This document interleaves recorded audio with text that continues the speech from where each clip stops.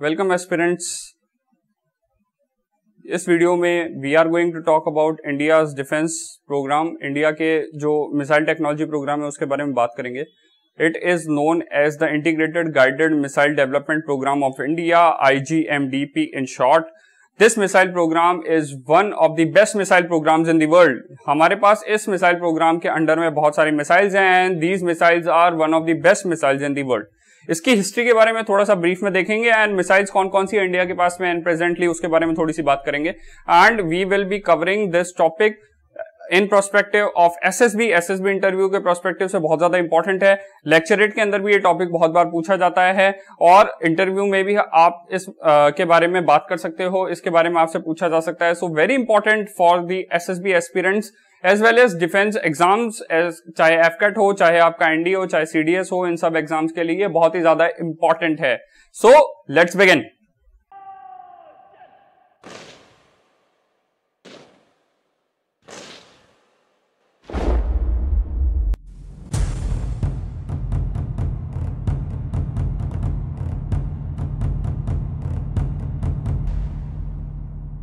So India's missile program started under the leadership of ABJ Abdul Kalam, who was one of the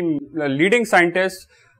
in ISRO. ये उस time पे इसरो के साथ काम कर रहे थे and it all started in 1982-83 जब इस टाइम पे इंडिया पे बहुत सारे सैंक्शंस लगे हुए थे बिकॉज़ ऑफ़ 1971 के अंदर जब बांग्लादेश लिबरेशन वॉर हुई तो उस टाइम पे अमेरिका एंड अदर पावर्स ने जो है वो इंडिया के ऊपर मिसाइल डेवलपमेंट एंड टेक्नोलॉजी से जुड़े बहुत सारे सैंक्शंस लगा दिए थे। Then second event came in 1974 when Indira Gandhi conducted the first nuclear test of India and इसके बाद में तो बवाली हो गया, क्योंकि जब इंडिया के पास न्यूक्लियर कैपेबल मिसाइल्स आ जाएँगी तो इंडिया जो है वो न्यूक्लियर वॉर कर सकता है या इस तरीके की एस्पिरेशन को देखते हुए, इन सब चीज़ों को देखते हुए फॉरेन कंट्रीज़ ने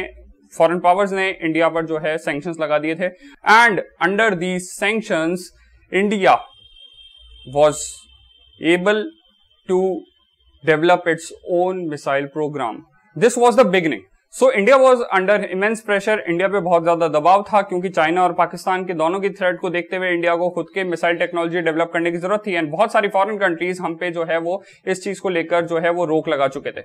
There was a new organisation which was created जिसको कहा जाता है MTCR missile technology control regime MTCR जो है वो 1987 के अंदर फॉर्म हुई थी। एमटीसीआर का मेन पर्पस है कि most of the countries which are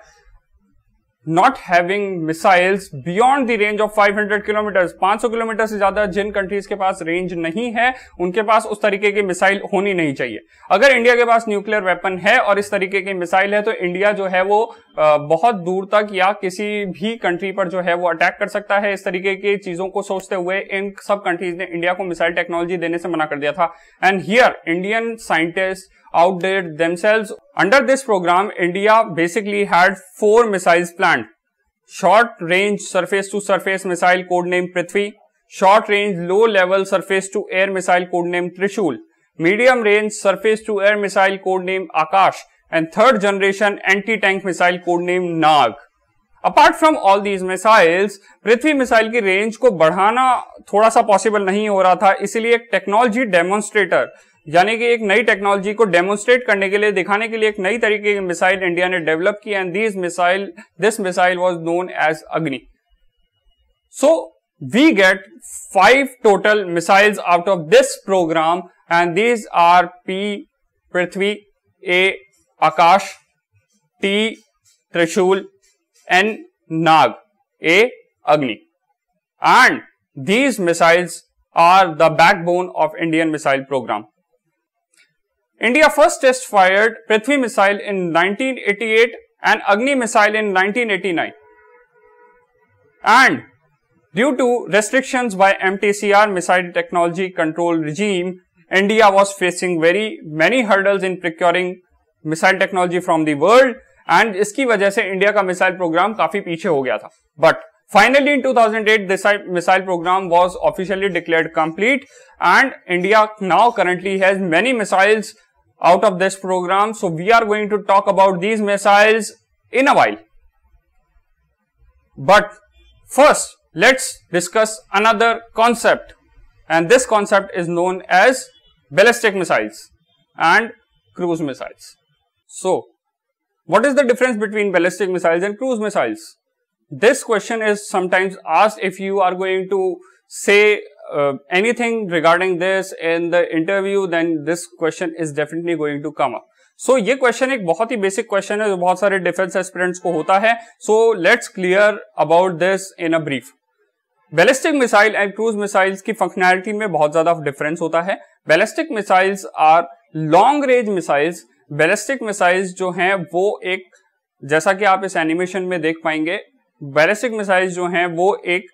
trajectory यानी कि एक प्रोजेक्टाइल मोशन को फॉलो करती हैं। पहले ये अर्थ के आउटर एटमोस्फियर में जाएगी एंड ये वापस से री एंट्री करेगी and this will re enter into the and hit the target because it is aided by gravity it is very much faster but इसके कुछ ड्रॉबैक्स भी हैं। सबसे पहले इस मिसाइल को इंटरसेप्ट करना बहुत आसान है। इसके खिलाफ एंटी मिसाइल जो हैं, वो लॉन्च करना बहुत ज़्यादा आसान है एंड इस तरीके से इस मिसाइल को इंटरसेप्ट किया जा सकता है। On the other hand we have cruise missiles cruise missiles are very fast missiles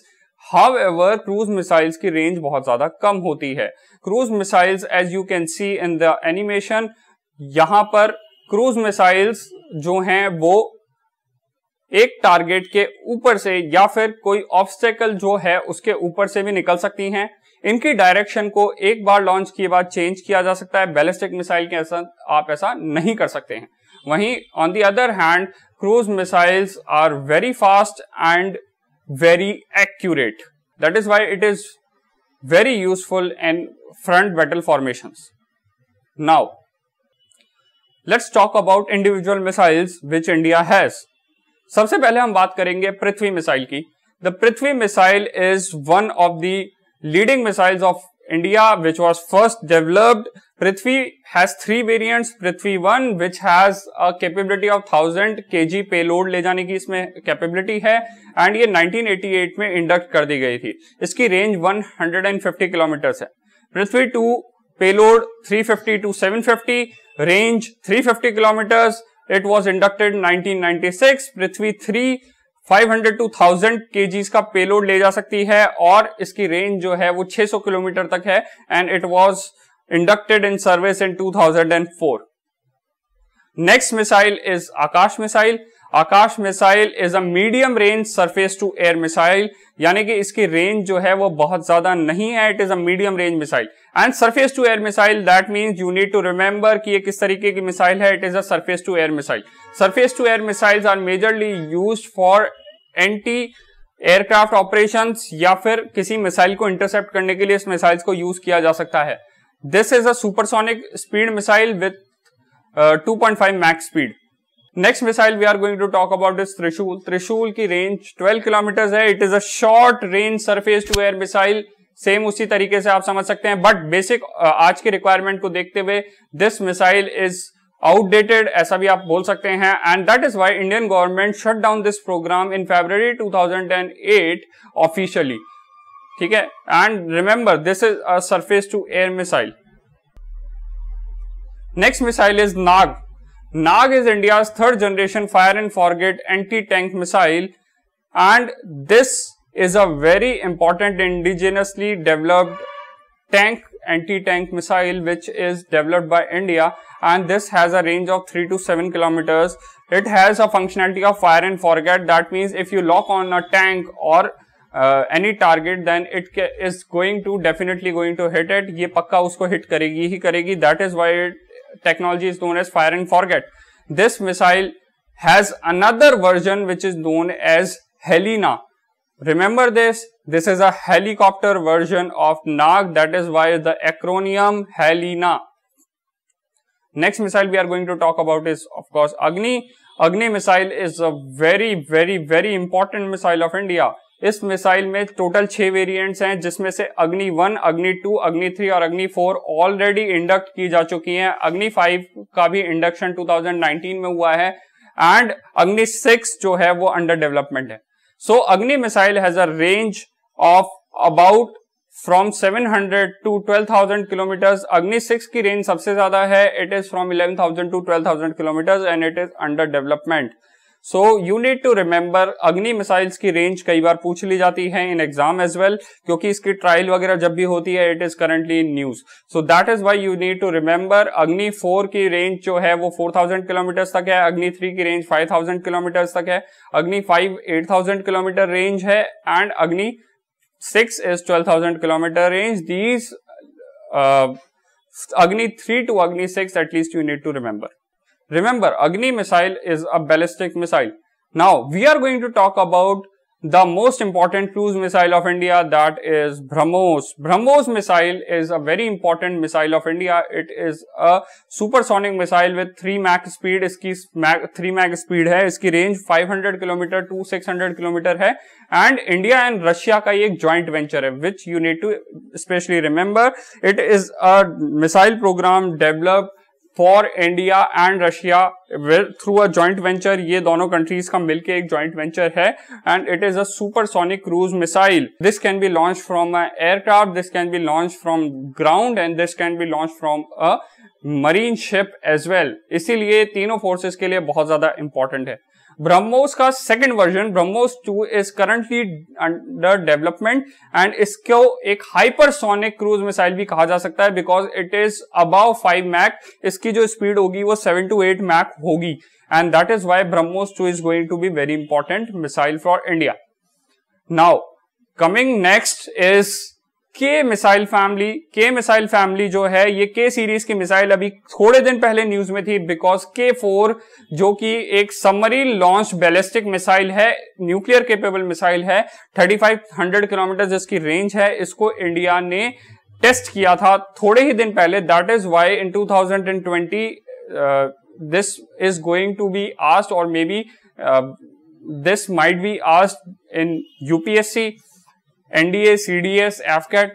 So this is very important missile. K4 was recently in news. Apart from that, K15, which is also a submarine launched ballistic missile, which is also known as Sagarika. It has a 70, 750 kilometers to 1500 kilometer range.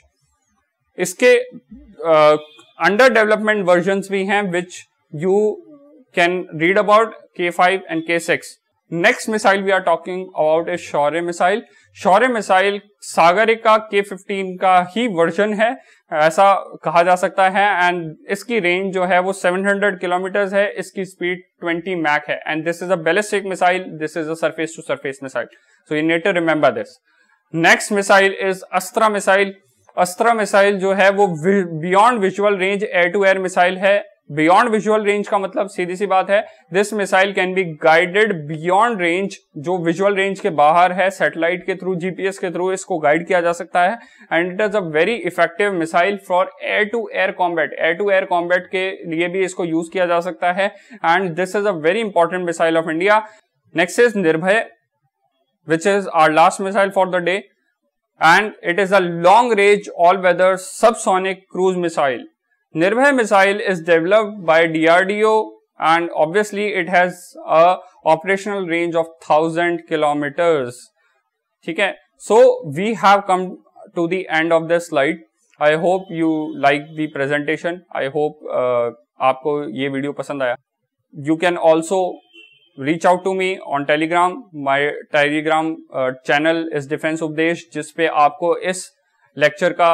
इस missiles की technology वगैरह के बारे में जो information है, इसका PDF जो है, वो मैं आपको वहाँ पर शेयर करूँगा। And you can also share and you can also tell me in the comment thank you